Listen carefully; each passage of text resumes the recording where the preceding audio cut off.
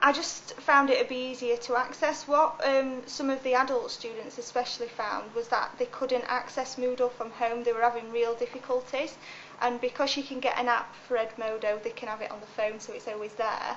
Um, and, it, and it's web-based, they can log in from anywhere. Um, so it, it was ease of access and also the layout. Um, most students have got Facebook accounts, so they can they can use it. College-wide, we, we use Moodle, so that's the only one we'd ever used. And I, and I just heard about this at a, a training conference with NATECLA um, that I went to and thought it looked really good. So I trialled it last year with a couple of groups um, and had really good feedback. They enjoyed using it. Um, so this year it's been promoted within the English and Maths team. So we, we've all got it set up with our groups. It's made my life easier because say if um, a student misses a session, all the resources are posted um, every every week so they can access them, they can ask questions um, and I just think it, it makes it easier for students to stay in touch, to ask questions that sometimes they might not want to ask in class in front of everybody else. Um, so I, I just think it's a fantastic communication tool. Way I use Socrative is we have through the course of the year students have sections to go through, for example health and safety, working building construction, um, I'm a classroom so they'll obviously be backing. So after each section I use it as assessment. So I say for the for their exams they have to get between well over 61% to pass their exam. So I say anything over 61% they pass that unit internally, then it has obviously get external exams. Uh, use it for assessments, have mock exams on it, and use it for before lessons, some formative, summary, summative assessments, revision, It's is just a good tool, good stickability.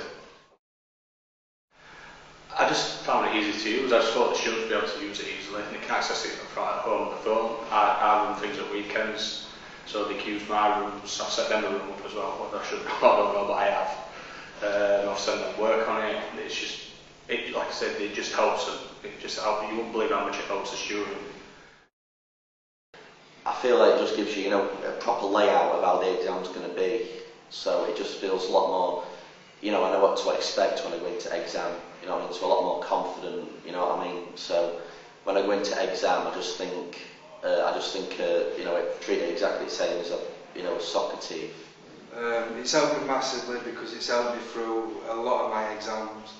Uh, helps you revise more. There's more. It explains it to you in a way because like if you click a wrong answer, it comes up, tells you the right answer, and then in that way you can like look it up in a book and like because we've got level three books, level two books, level one books, so it's like when it comes up with that answer, we can look for it and read about it more. So then when um, we come to do it again, we'll understand the question more and the answer more, and it helps you a lot because you can do it with not only just yourself, you can um, you can get your friends to join in on it, whoever's doing the course with you or the exam, they can join in and they can help you more as well.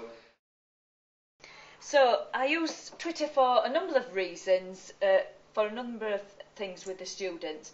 I might, for example, tweet or retweet things that I'm following that are particularly interest for our teaching assistants. So, for example, uh, I'm following Rotherham Advertiser, which is a local paper, and there's free tickets for X Factor. So I've retweeted that. I thought, oh, they'll be interested in that. Just to keep their interest in Twitter as well. I might also retweet any jobs that come up that I see on RMBC, which is the council website, for teaching assistants or anything else that's interesting.